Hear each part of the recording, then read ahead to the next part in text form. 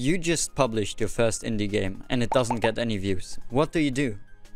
Right now your cover probably looks something like this.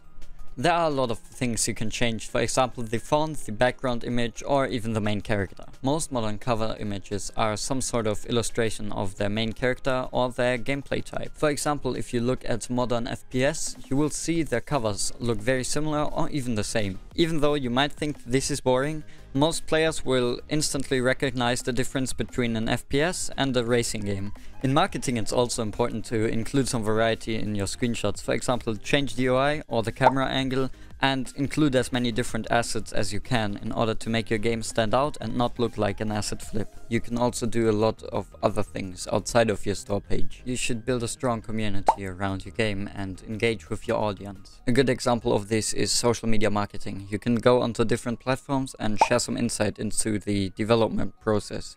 You should highlight key gameplay and mechanics and at best briefly introduce the core concept and genre of the game you should reach out to gaming journalists, bloggers or media outlets to get coverage for your game.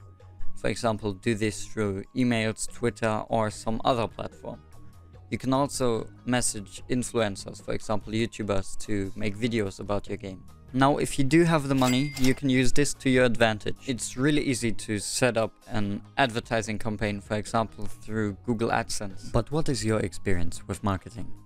Share your experience in the comments down below don't forget to wishlist Trishu Drift, it just came out on Steam. And see you in the next episode.